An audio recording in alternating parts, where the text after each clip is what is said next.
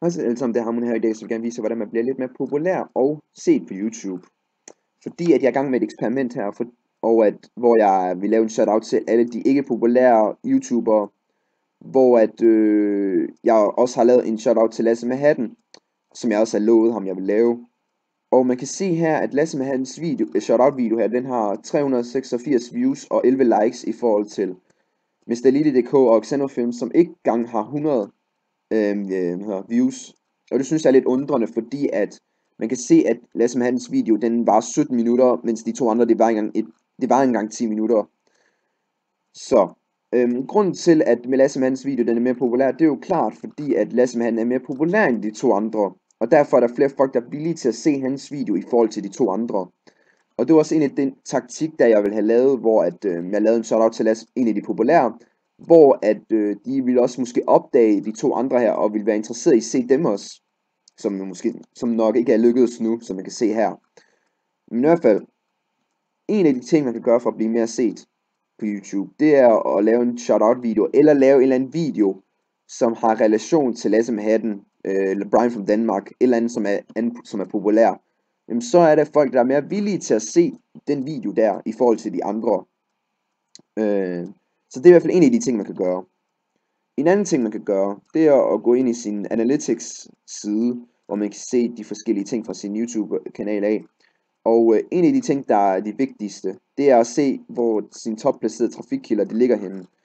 Og man kan se, den er, det er en video, der bliver foreslået af vi, øh, YouTube-videoer. Altså dem, der kommer herud ved siden, når man, ser, når man plejer at se en video. Og det kan vi allerede vise et eksempel på ved at klikke på den første her, hvor der står Danish Comedian About Kane West. Øh, man kan, det er sikkert Anders Madsen. Det var det også. Øh, man kan se, at den har, den har en del views, og hvis man scroller nedad, så kan man se, at min video her omkring en kvindelig studerende fra 26 12-taller, den øh, kommer som en relateret video, eller en foreslående video. Og det er det, der gør, at folk de klikker på den video. Øh, en anden ting, der også gør, at folk klikker på videoen, det er også, at øh, de, øh, eller titlen, den er mere sådan fængende, den er mere fangende at, øh, for folk, men, som man kan se. Altså folk de er mere villige til at klikke på en video, som handler omkring en kvindelig studerende fra 26 12 end at klikke på en eller anden Minecraft video, eller en eller anden, en eller anden film, jeg har lavet. Hvem, hvem gider se det for eksempel? Og øhm, det er et godt bevis på, at der er to ting, der, der gør, at folk vil ligesom se en, som gerne vil blive øhm, set. Det er for det første at lave en video omkring noget, som er enten grotesk, eller noget, som er fængende, og som er interessant at se.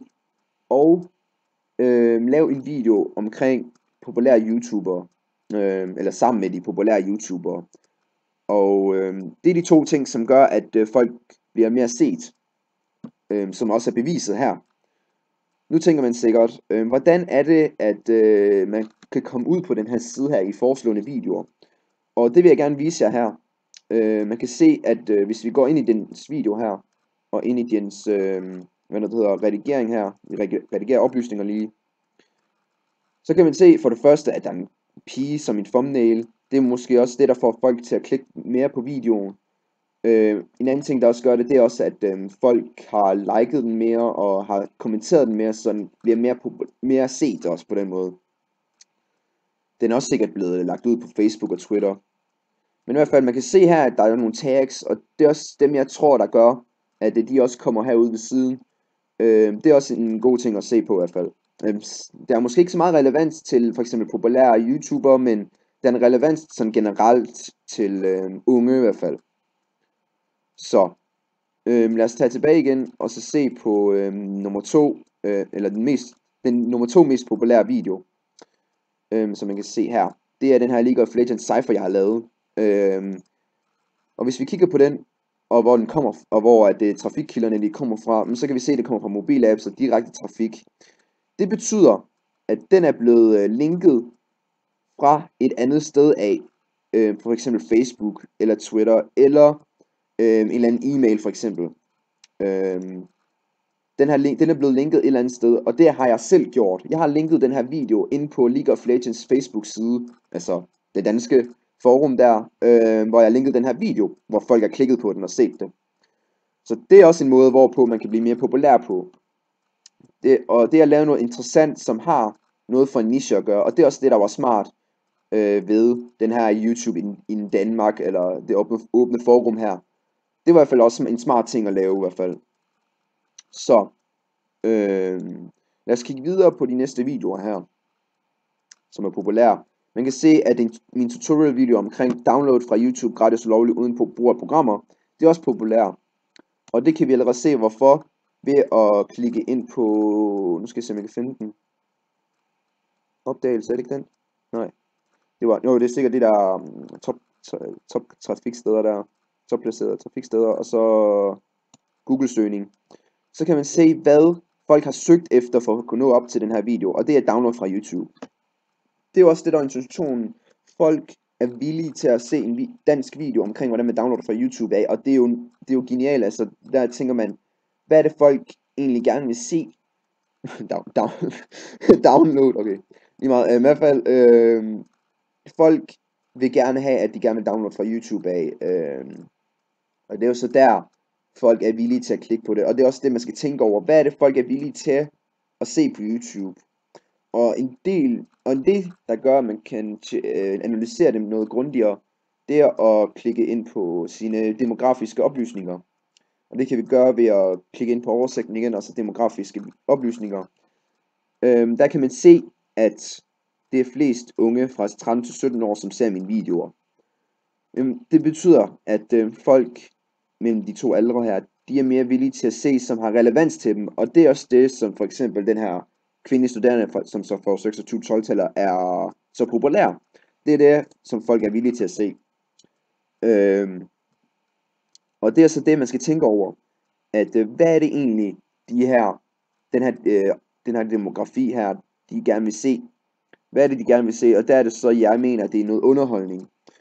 Øh, eller noget, som er relevant til netop YouTube, andre danske YouTubere. Og det er jo ret smart jo. Og jeg tror også, at hvis jeg linker den her alle steder, og hvis jeg ligesom, noget her, ligesom skriver i overskriften, at øh, hvordan man bliver hurtigt populær på YouTube, jamen så er der også flere folk, der er villige til at se den. Netop fordi de gerne vil være populær på YouTube. Og det giver jo god mening. Så øh, det er i hvert fald de ting, man kan gøre for at blive mere populær. Øh, og man kan allerede se en søge, de søgninger, der er blevet lavet på at se øh, min kanal. Jamen det er at søge efter slide dansk, dansk eksamen, Pokémon dansk osv. Og øh, det er også det, der har gjort mine videoer mest populære, og folk har subscribet til mig. Det er fordi, jeg har lavet den her slide let's play øh, for noget tid siden, og det er også derfor, folk hele tiden spørger mig omkring, øh, hvorfor du ikke øh, laver en slide 3 let's play. Så, øh, det er i hvert fald de ting, der gør, at man kan blive populær. Og det er, det er ligesom at skabe en nyt, nyttighed til folkene, eller til de øh, demografiske sted, demografi, man har. Øh, en anden ting, man også skal gøre for at blive mere populær, det er at lave en videorespons på de danske YouTubere, øh, for de danske YouTubere. Ligesom, øh, ligesom med den Lasse med hatten øh, videoen her, så er det, jeg har lavet en shout-out video til ham, øh, hvor jeg også har lavet en, øh, hvad det hedder, en øh, videorespons til en af hans videoer, hvor folk har klikket på den.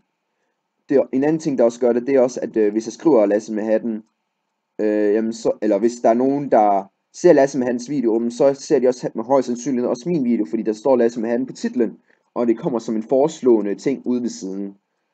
Øh, derfor så tænker jeg også, at øh, hvis man gerne vil blive set herude ved siden, så gælder det også om at komme med noget, som øh, har relevans til alle sammen.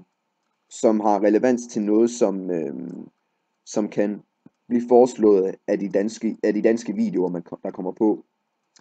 Øh, jeg beklager, hvis jeg forklarer det lidt mærkeligt, men jeg håber i hvert fald, I forstår det.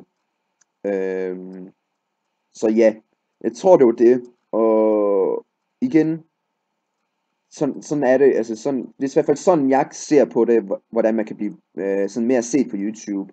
Og en anden ting, det er også, at hvis du gerne vil have, at folk de ligesom abonnerer til dig, eller subscriber dig, jamen, så er det, at du er nødt til at, øhm, så er du nødt til at lave noget, som er unikt.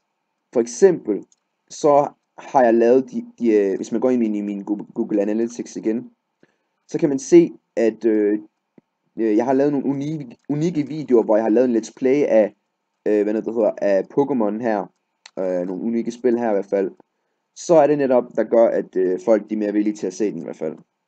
Øh, så ja, jeg håber i hvert fald, at øh, I fik noget ud af det her. Øh, ellers så vil jeg i hvert fald sige tak, fordi I har set på den, og så vi ses til næste gang. Peace!